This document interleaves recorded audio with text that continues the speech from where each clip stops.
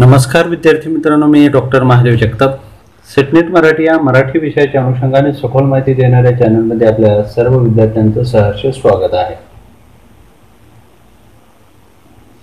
या व्हिडिओच्या वरची माहिती आपल्याला आवडत असल्यास नक्कीच लाईक आणि कमेंट करून चॅनल सबस्क्राईब करायला विसरू नका. तसेच आपल्या मित्रांना शेअर करायला विसरू नका. विद्यार्थी मित्रांनो चॅनल सबस्क्राईब केल्यानंतर शेजारील असलेली बेल त्या ठिकाणी प्रेस करावी. म्हणजे जेणेकरून मी टाकलेला व्हिडिओ आपणापर्यंत लवकरात लवकर पोहोचेल आणि तो अभ्यासाच्या दृष्टिकोनातून आपण पाहू शकाल.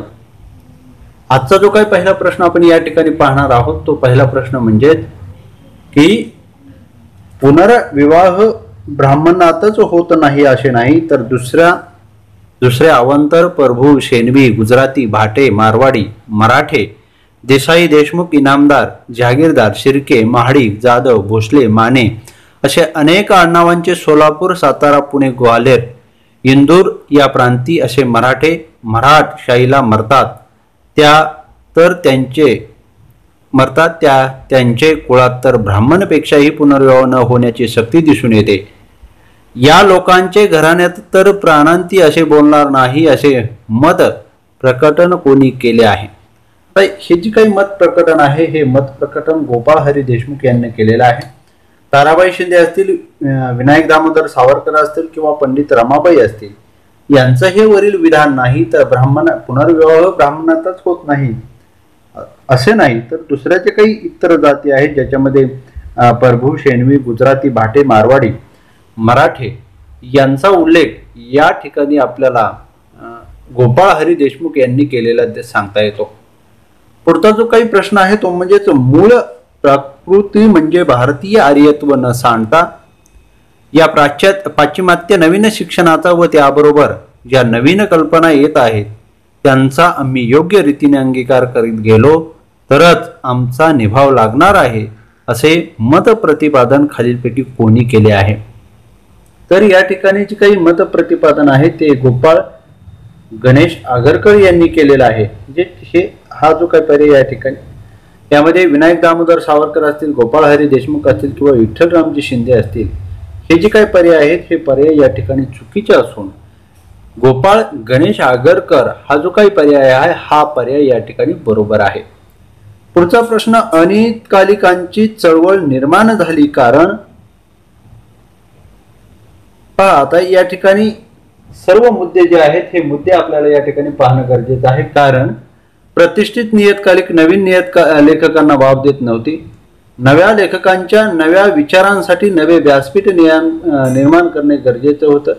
नवलेखकांनी स्वीकारलेल्या अस्तित्वादी भूमिकेचे प्रकाशन निकडीचे होते.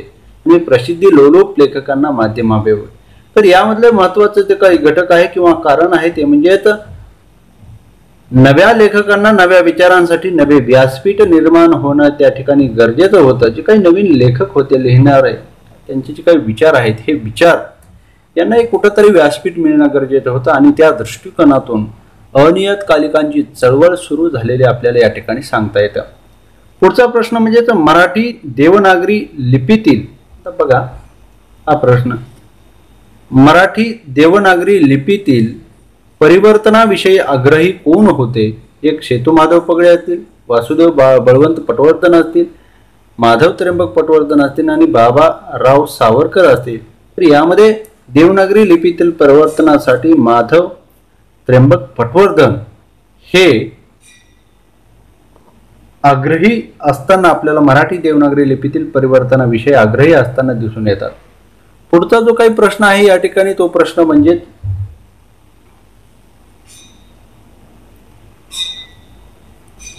अक्का कोणाला म्हणत? आता हा जो काही प्रश्न आहे हा श्यामची आई या कादंबरीतील आहे. तुम्हाला अतिशय गाजलेली कादंबरी आहे साने गुरुजी यांची. तर अक्का कोणाला म्हणत? एक कौतुकला राम रामलालच्या आईला मृणालिनीला तर श्यामच्या बहिणीला. तर या ठिकाणी श्यामची जी काही बहीण आहे त्या श्यामच्या बहिणीला अक्का म्हणताना दिसत. कौतिक कौतिक ही धगमधील पात्र आहे. रामराव हे राम गणेश गडकरी यांच्या एकच प्यालामधील पात्र आहे हे जी काही पात्र आहेत हे तुम्हाला त्या ठिकाणी माहीत असणं गरजेचं आहे. कारण या ठिकाणी मूळ मुद्दा म्हणून सांगतो की ज्या काही कलाकृती आहेत आता ही कलाकृती वाचत असताना त्याच्यामधील जे काही विषय आहेत किंवा आशय आहेत किंवा जी काही पात्र आहेत हे प्रकाशन वर्ष आहे हे तुम्हाला त्या ठिकाणी माहीत असणं गरजेचं आहे. कारण बऱ्याच वेळेस प्रश्न विचारत असताना त्या पद्धतीनं ही प्रश्न विचारले गेले आहेत आणि विचारूही शकतात अजूनही विचारू शकतात आणि त्या अनुषंगाने आपण ही माहिती आपल्याला माहीत असणं त्या ठिकाणी गरजेचं आहे. पुढचा प्रश्न आहे तो म्हणजे भिंतीवरले नकाशे फडफडल्याने देशात भूकंप होत नसतात असे विधान कोणत्या साहित्य कृतीत आहे? पहा आता नटसम्राट या कलाकृतीतील हे वरचं विधान आहे. म्हणजे भिंतीवरील नकाशे फडफडल्याने देशात भूकंप होत नसतात वज्रगाथा असतील एकच प्याला असतील किंवा रणांगण असतील या कादंबरीतील नाही तर नटसम्राट या नाटकातील अतिशय गाजलेलं हे नाटक या नाटकातील हे वरील जे काही विधान आहे ते विधान आपल्याला सांगता येतं. हाती माती आली अशी अनुभूती कोणत्या कवीच्या कवितेत व्यक्त झाली आहे? तर केशवश्रुत यांच्या कवितेत कवितेत खाती माती आली अशी अनुभूती व्यक्त झालेली झाली आहे असं आपल्याला या ठिकाणी सांगता येतं. म्हणजे बऱ्याच वेळेस तुम्हाला प्रश्नाचं स्वरूप हे बदललेलं दिसेल किंवा वेगवेगळ्या पद्धतीनं हे प्रश्न विचारलेले दिसतील. आणि त्या अनुषंगाने आपण प्रश्नाचं जे काही सखोलता आहे किंवा प्रश्न जे काही आपण पाहतो त्या प्रश्नातून आपण त्या वेगळ्या पद्धतीचे प्रश्न आपल्याला कसे तयार करता येतील हे आपण या ठिकाणी पाह पाहत आहोत. विद्यार्थी मित्रांनो आता पुढचा जो काही आपण या ठिकाणी प्रश्न पाहणार आहोत तो प्रश्न पहा.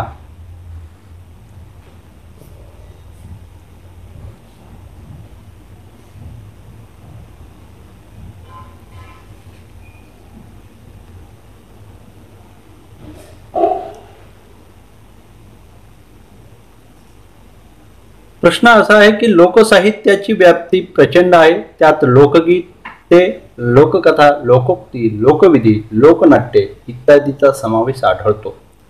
आता पहा प्रश्न. लोकसाहित्याची व्याप्ती प्रचंड आहे हो ओके बरोबर आहे? त्यात लोकगीते आढळतात अगदी बरोबर. लोककथा आहे लोकोक्ती आहे लोकविधी आहे लोकनाट्य इत्यादीचा समावेश आढळतो. आणि म्हणून हे जे काही विधान आहे हे विधान संपूर्णतः बरोबर आहे. त्याचं कारण काय? लोकसाहित्याची व्याप्ती ही प्रचंड आहे. त्याला काही थोडक्यात अमर्याद अशी ही व्याप्ती आहे. आणि ही अमर्याद व्याप्ती कशामुळं आहे? त्याचं कारण आपल्याला या ठिकाणी सांगता येतं. ते म्हणजेच या ठिकाणी जी काही त्याच्यामध्ये आढळणारे जे काही घटक आहेत ते घटक मोठ्या प्रमाणात असलेले आपल्याला सांगता येतात. त्याच्यामध्ये असतील लोकगीते असतील लोककथा असतील लोकोक्ती असतील लोकविधी असतील किंवा लोकनाट्य असतील. त्या लोकनाट्याचा सुद्धा समावेश आपल्याला या लोकसाहित्यात आढळताना दिसून येतो.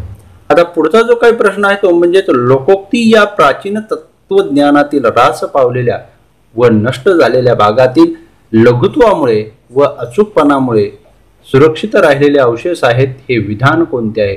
आता लोकोक्ती म्हणजेच लोकांकडून आलेले जे काही प्राचीन तत्वज्ञान आहे त्याच्यामध्ये अरिस्टॉटल यांनी हे वरील मत या ठिकाणी व्यक्त केलेलं आपल्याला सांगता येतं. याच्यामध्ये बेकन असतील जॉन विलिंगन असतील किंवा हॉवेल असतील यांचा विचार या ठिकाणी आपल्याला करायचा नाही. तर जी काही लोकोक्ती आहे ह्या बाबतीतलं जे काही मत आहे नाश पावलेला व नष्ट झालेल्या भागातील लघुत्वामुळे अचूकतामुळे सुरक्षित राहिलेले अवशेष आहेत हे विधान अरिस्टॉटल यांनी व्यक्त केलेलं आपल्याला सांगता येतं. पुढचा प्रश्न आहे तो म्हणजेच रोडोली रोडाली या आदिवासी आता पहा रोडारी या आदिवासी लोकगीतातून कोणता भाव दृश्यमान होतो? तर थट्टा मस्करी. रोडाली या आदिवासी लोकगीतातून कोणता भाव दृश्यमान होतो? तो थट्टा मस्करी म्हणजे गप्पा करणे असेल मनोरंजन करणे असेल किंवा पूजाविधी करणे असेल हा भाग यामध्ये नाही. तर लोकसाहित्याच्या ज्यावेळेस किंवा लोकवाङ्मयाचा ज्यावेळेस आपण अभ्यास करता त्यावेळेस अशा पद्धतीचे प्रश्न किंवा अशा पद्धतीच्या जे काही लोकगीते आहेत किंवा लोक लोकनाट्य आहेत किंवा लोकविधी आहेत यांचा आपण त्याच्यामधील बारकाईने अभ्यास करावा अशा पद्धतीचे प्रश्न बऱ्याच वेळेस त्या ठिकाणी विचारले आहेत. आणि म्हणून या ठिकाणी रोडाली हा जो काही आदिवासी लोकगीतातून भाव कोणता होतो तो ठट्टा मस्करी. लघुता व्यावहारिकता चटकदारपणा आणि लोकमान्यता हे चार गुण म्हणीमध्ये असणे आवश्यक आहे. हे विधान कोणाचे आहे? तर दुर्गा भागवत यांचं हे विधान आहे. त्याची की यामध्ये त्यांना विचार मांडत असताना असं म्हटलं की लघुता व्यावहारिकता आणि काही चटकदारपणा आहे. हा चटकदारपणा आणि लोकमान्यता हे चार गुण मनीमध्ये असणं गरज आवश्यक आहे. हे विधान दुर्गा भागवत यांचं आहे. प्रभाकर मांडे असतील राची डेरे असतील किंवा वाघो आपटे असतील यांचं हे विधान नाही. तर लघुता व्यावहारिकता चटकदारपणा आणि लोकमान्यता हे चार गुण म्हणीमध्ये असणं हे दुर्गाबाई भागवत यांचं विधान आहे. आता पुढचा प्रश्न पहा. सुन म्हणे लाडी सुन म्हणे लाडी. वनी घुंगरुनी गाडी वना सासरा लेवाले मना सासराने रंगीत गाडी त्याला म्हातारे बैलसिने जोडी. व माडी जाऊ दे तथ मी नाही आज जात. सांग मना सासर आले सुन मनी लाडी वना जेठ लेवाले. घुंगट कसा खोलू मी कोणासंगे बोलू मी व माडी जाऊ दे तस मी जा नाही जात. सांग मना जेठले सुन मनी लाडी वनापती लेवाले मनापतीने घोडा गाडी व माडी मी सासरी सास सासरे जास. सांग मना पतीले. हे काही लोकगीत आहे आता बरेच वेळेस प्रश्न विचारत असताना अशा लोकगीतावर सुद्धा प्रश्न तुम्हाला बरेच वेळेस विचारले जातात. आणि हे जे काही लोकगीत आहेत ही लोकगीत किंवा याचा अभ्यास करत असताना आपल्याला लोकसाहित्याच्या मुळात लोकसाहित्यामधील जे काही घटक आहेत जे काही लोकगीताचे घटक असतील किंवा लोकविधीचे किंवा लोककथेचे किंवा लोकनाट्याचे यामध्ये हे तुम्हाला दिलेले आहेत. आणि त्याचा अभ्यास करताना असे कडवे किंवा अशा ज्या काही ओळी आहेत त्या ओळी आपल्याला माहीत असणं त्या ठिकाणी गरजेचं आहे. त्या ठिकाणी वरील लोकगीतातून कोणता मध्यवर्ती आशय प्रकट होतो तर सासरी जाण्याची जी काही ओढ आहे आता आपल्याला या ठिकाणी लगेच लक्षात येतं की सुन मनी लाडी सुन मनी लाडी. पहा सुन मने लाडी सुन मने लाडी वडी घोंगराची गाडी वन सासर आल्यावाले मना सासऱ्याला रंगीत गाडी. ही जी काही आहे ही सासरी जाण्याची जी काही ओढ आहे ती ओढ या ठिकाणी आपल्याला दिसून येते. आणि म्हणून अशा पद्धतीच्या काही रचना जर तुम्हाला वाचायला मिळाल्या तर नक्कीच त्याचा अभ्यास आपण अतिशय काळजीपूर्वक असा करावा. कारण त्याच्यावर सुद्धा बरेच वेळेस प्रश्न विचारले गेलेले आहेत. आणि मग ह्या प्रश्नांची अचूकपणे उत्तरं देण्यासाठी आपण त्या ठिकाणी काळजीपूर्वक अभ्यास करणं गरजेचं आहे. आता पुढचा जो काही प्रश्न आहे तो म्हणजेच एकापेक्षा अधिक भाषामधील साहित्य कृतींची वैधर्म्य साधर्म्य प्रभाव आणि प्रभाव यांचा शोध घेत केलेली समीक्षा म्हणजे तौनिक साहित्य अभ्यास होय. ही तौनिक साहित्य अभ्यासाची व्याख्या कोणाची?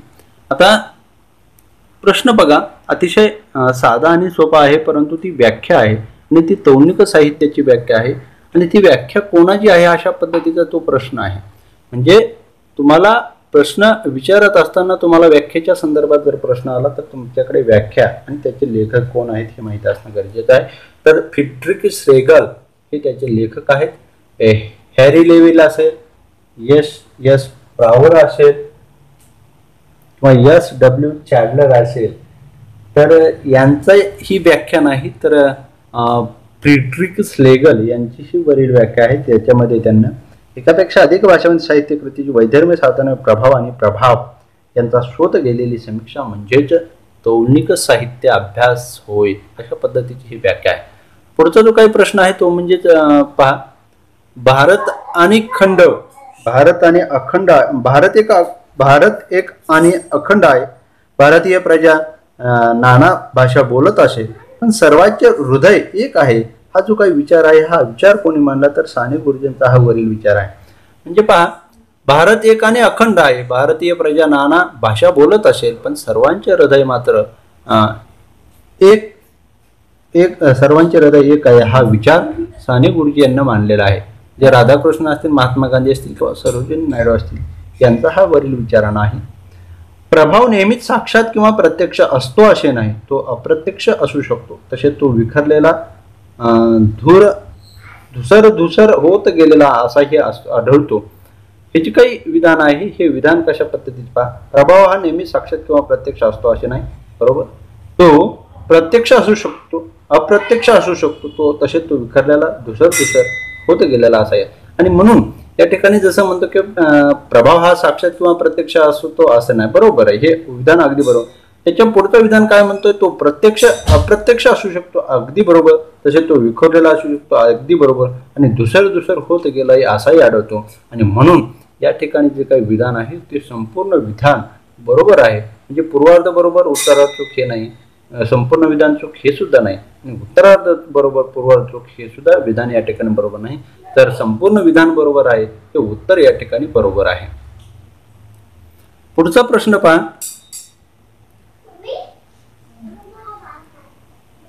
भारतीय साहित्यकाने या ठिकाणी प्रश्न पहा. भारतीय साहित्यकाने भारतीय साहित्याच्या क्षेत्रात आग्रह धरायचा चाहतो. क्षेत्र साहित्याच्या क्षेत्राचा आग्रह धरायचा तो देशभक्तीच्या कल्पनेने नव्हे क्षेत्र मर्यादा कामाच्या दृष्टीने सोयीचे असते. म्हणून जगातील सर्व महान लेखक आणि महत्त्वाच्या साहित्यिक घडामोडी यांच्या प्रभावासाठी आपल्या स्वागतशील मनाची दारे सदैव उघडीच असा असावी हा इशारा कोणी दिला तर प्रो प्रोफेसर न नगेंद्र यांनी ह यांचं हे वरील विधान आहे. आणि त्यांना त्या ही जी काही भूमिका आहे किंवा ती काही मत आहे हे मत हे या ठिकाणी मानलं आहे. याच्यामध्ये भारतीय साहित्य अभ्यासकाने या ठिकाणी पा भारतीय साहित्य अभ्यासकाने भारतीय साहित्याच्या क्षेत्रात आग्रह धरायचा तो देशभक्तीच्या कल्पनेने नव्हे क्षेत्रमर्यादा कामाच्या दृष्टीने सोयीची असते म्हणून जगातील सर्व महान लेखक आणि महत्त्वाच्या साहित्यिक घडामोडी यांच्या प्रभावासाठी आपल्या स्वागतशील मनाची दारे सदैव उघडीच असावी हा इशारा प्रोफेसर नगेंद्र यांनी दिलेला आपल्याला सांगता येतो. पुढचा प्रश्न पहा आता. आपल्या वडिलांच्या वाड्याला असंख्य दालने आहेत. या सौंदर्य विश्वात अग्रमान देवतुल्य होमरचा देवतुल्य होमरचा आहे. पण सौंदर्य विश्वात अग्रमान देवतुल्य होमरचा आहे. पण त्याच्या मागोमाग वाल्मिकी व्यास फिरदौशी असे आशियातले महाकवी जरूर आहेत. हा अभिप्राय खालीलपैकी कोणाचा आहे? तर श्याम भाऊ यांनी जो काही वरील विधान केलेले की आपल्या वडिलांच्या वाड्याला असंख्य दालने आहेत या सौंदर्य विश्वात अग्रमान देवतुल्य होमरता आहे. आणि त्याच्या मागोमाग वाल्मिकी असतील व्यास असतील फिरदोशी असतील हे आशियातले महाकवीही जरुरी आहेत हा अभिप्राय श्याम भाऊ या पाश्चात्य अभ्यासकांनी या ठिकाणी दिलेला आपल्याला सांगता येतो. पुढचा जो काही आपण या ठिकाणी प्रश्न पाहणार आहोत तो प्रश्न पहा. प्रश्न अशा पद्धतीचा आहे श्रीवादी साहित्याच्या संदर्भात आहे. श्रीवादी साहित्य अभ्यास म्हणजे काय? या ठिकाणी हा शब्द चुकलेला आहे. आपण काळजी करू नये त्याची. श्रीवादी साहित्य अभ्यास म्हणजे काय? तर साहित्याच्या सौंदर्य ग्रहणाचा ऐतिहासिक विचार स्त्री पुरुष साहित्याची तोडणी चिकित्सा स्त्रीच्या अस्तित्वाचा शोध घेण्याचा घेणाऱ्या साहित्याचा मागवा साहित्यातून घडणाऱ्या स्त्री सूचनेची मीमांसा. तर या ठिकाणी महत्वाचं काय आहे? तर स्त्रीच्या अस्तित्वाचा शोध घेणाऱ्या साहित्याचा मागोवा म्हणजेच स्त्रीवादी साहित्या हो साहित्याभ्यास होय. केवळ साहित्यातून घडणाऱ्या स्त्री शोषणाची मीमांसाच नाही. तर स्त्रीचे एकूण अस्तित्व काय आहे? त्याचा शोध घेण्याचा घेणाऱ्या साहित्याचा मागोवा या ठिकाणी महत्त्वाचा आहे. आणि तो मागोवा घेत असताना स्त्री शोषण तर येणारच आहे त्याच्यामुळं. म्हणून खालचा जो डी पर्याय आहे तो डी पर्याय चुकीचा असून सी पर्याय या ठिकाणी बरोबर आहे. पुढचा प्रश्न बघा आता. पुढचा प्रश्न अशा पद्धतीचा आहे की